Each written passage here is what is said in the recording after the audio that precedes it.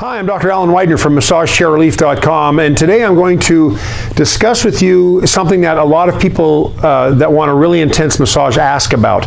Uh, so people will say, I want the strongest massage you have, or they'll come to the showroom and they'll sit on a, a bunch of chairs and it still doesn't dig in as much as they want it to. Well, one of the, besides, of course, every chair that's a 3D chair, you can increase the depth of the rollers to make it dig in more and make it stronger. But what if even then it's not strong enough? Well, one of the things things you can do is you can remove the back pad that's over top of the rollers. The problem with some of them is uh, you're going to have to deal with, well, let's say just, for example, on this chair, this is a, an L-track chair.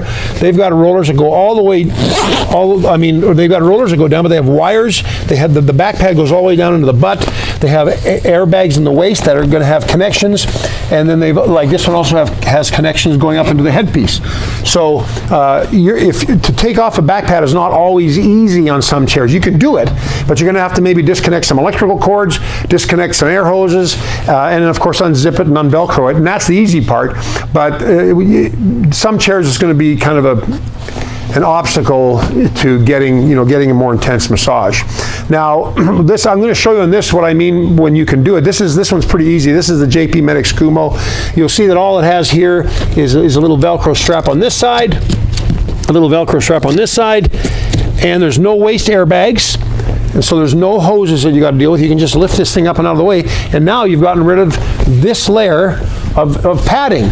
So now you can get the whole back pad. You, I suspect you could even take off the, the, the, the seat airbags as well. You've got a zipper down here. You can take off that if you want a stronger butt massage. So that is an option.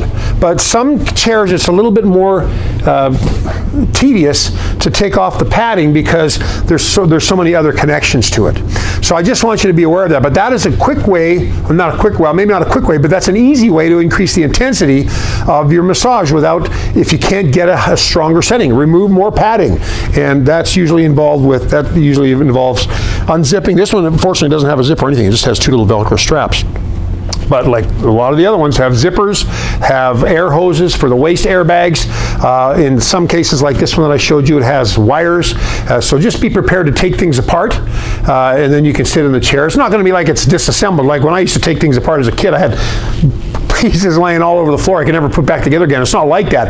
Uh, there, you know, there's probably a hose connection, possibly an electrical connection, uh, and, uh, and and maybe uh, you have to undo the zipper all the way down the entire length of the back pad to get the seat off too, because maybe the seat excuse me, maybe the seat and the back are attached as one long pad.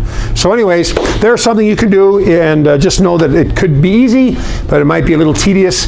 But when you do remove the back pad, boy, you'll get a stronger massage, no doubt about it. You think about this one. This one has back pad here. Here it's linen, and underneath it's linen. So it's pretty strong here. This uh, chair does have a strong neck massage, but this little back pad here, a little padding, you take that out, and now you've got the rollers going right up and down your back. The only thing separating your back from the rollers is this thin linen.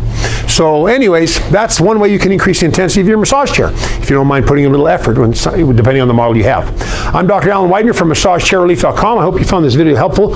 If you did, thumbs up, like us on our YouTube channel, and share this video with your friends and family to help us spread the word about massage chairs. Hope you have a great day. We'll see you on the next video. Bye-bye.